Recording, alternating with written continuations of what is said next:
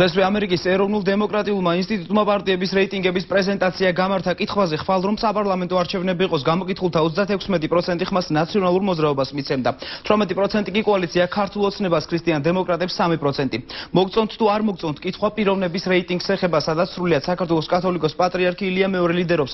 მას გამოკითხულთა 92% დადებითად ახასიათებს. 60% გიგი უგულავას 40% მიხეილ სააკაშვილს 55% ვანო მერაბიშვილს გიორგი თარგამაძეს 50% 40% ხოლო ბიძინა ივანიშვილს დადებითად 46% ახასიათებს.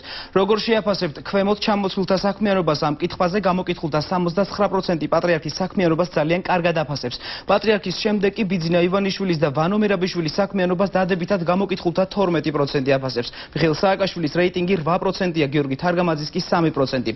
ამერიკის ეროვნულ დემოკრატიულ ინსტიტუტის საქართველოს ოფისის ხელმძღვანელის ლუის ნავაროს განმარტებით, წინა კვლევასთან შედარებით ნაციონალური მოძრაობის მაჩვენებელმა 11%-ით დაიკლო, ხოლო კოალიცია ქართული ოცნების რეიტინგი 8%-ით გაიზარდა. ruling party continues to hold a uh, significant lead over the opposition.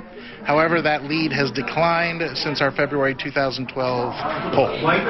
Um, ერთიანი ნაციონალური მოძრაობა კვლავ პირველ ადგილზეა ოპოზიციურ პარტიებთან შედარებით ხარდაჭერის მაჩვენებლით, თუმცა განსხვავება მათ პროცენტულ მაჩვენებლებში შემცირებულია წინა კვლევასთან შედარებით.